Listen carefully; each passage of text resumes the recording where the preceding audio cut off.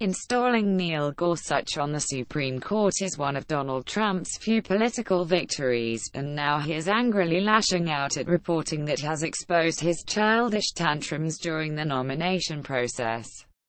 The Washington Post reports that Trump considered pulling back Gorsuch's nomination after the then nominee criticized him for attacking the judiciary. After a federal judge ruled against Trump's Muslim ban, Trump threw a temper tantrum, referring to the Bush appointee as a so-called judge. He also called other judges who ruled against him biased and political. During meetings with various senators, Gorsuch reportedly said Trump's attacks were disheartening and demoralizing. Trump worried that Gorsuch would not be sufficiently loyal to him, a terrifying concern, given that judges are not supposed to be loyal to the presidents who appoint them. In a meeting with congressional Republican leaders, Trump complained, he's probably going to end up being a liberal like the rest of them. Responding to the Post's new report, Trump virtually stamped his feet and in his well-worn and predictable act described the story as fake news, and added, I never even wavered and am very proud of him and the job he is doing as a Justice of the U.S. Supreme Court. Trump also baselessly claimed that the Post's sources do not exist.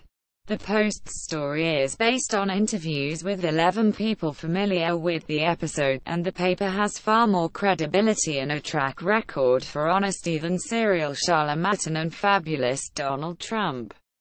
In a recent poll, in a question of who was more trustworthy, Trump or the Post, the Post easily won 5,237%. In fact Trump lost to every news outlet that was polled. Trump's emotional reaction exposes how sensitive he is about America learning that even his triumphs are also wrapped up in his personal failings. The only reason Trump was able to install Gorsuch was because Senate Republicans denied President Barack Obama's nominee, Merrick Garland, even a single hearing. Gorsuch was foisted on Trump, and not a pick he came up with on his own. Senate Republicans would have approved the nominee no matter which Republican president had offered it, and the success barely has anything to do with Trump's improbable election. It is a sore spot for him, in a year of failure after failure, to have even this moment exposed as another bit of stumbling and fumbling. He cannot handle his shortcomings being reported on and exposed by organizations who are far more trusted than he is, so he has another tantrum.